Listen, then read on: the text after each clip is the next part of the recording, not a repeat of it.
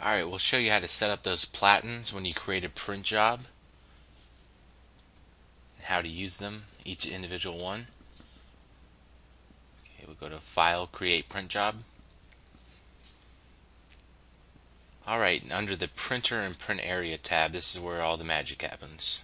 Make sure you have the Viper selected. Uh, output Q1. And these are the different platen sizes. Get the 16 by 20, 16 by 9, and 7 by 9. Uh, this is if you want to print using the whole platen. This one we'll use for the two separate 16 by 9s. And this is the one we'll use for the small 7 by 9.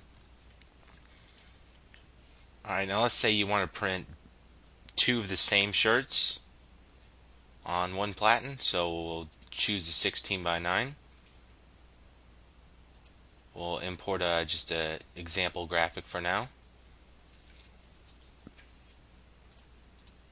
Alright, since we have 16 by 9 selected, we'll change the template.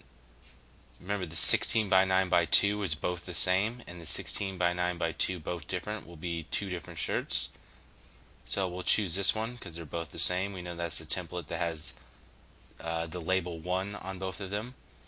So we'll choose that. And Platen ID 1. Now we'll say OK.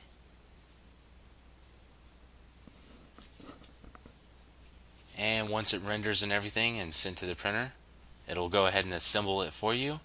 And if you notice when you click on the Pages to Printer tab, that you'll have both the same image being printed on the shirts.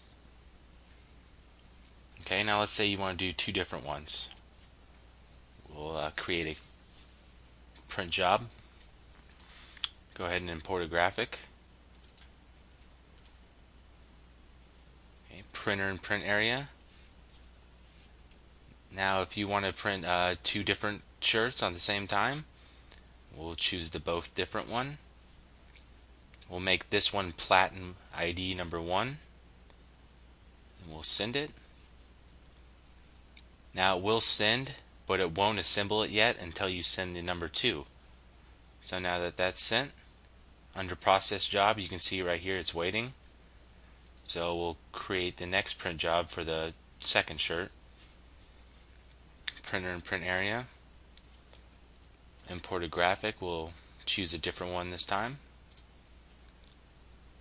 okay 16 by 9 but we'll make this platen ID number 2 on the both different template. And then once you send that to the printer it'll assemble with the previous one. And if you check under the pages to printer tab here it is right here with the uh, two separate pictures being printed on the same time